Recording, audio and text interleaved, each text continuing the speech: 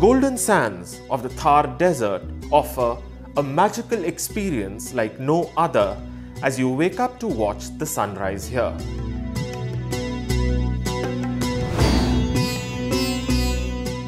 The nearly 2 lakh square kilometers of desert spread through the western regions of Rajasthan, Gujarat and parts of Punjab defines the region and its people. Looking at this desert, it is hard to imagine that thousands of years ago, this region was a thick forest. Climatic changes over millennia transformed it into a vast desert. To get a sense of how life is here in this sea of sand, head out around 40 kilometers from Jaisalmer city to the Desert National Park that stretches over 3,162 square kilometers. The village of Sam houses tourists who come to explore the desert.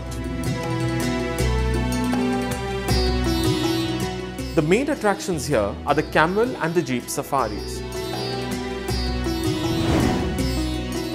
And after the sun sets on the Thar, you can stay in the tents on the dunes and enjoy the tastes, music and art of the region.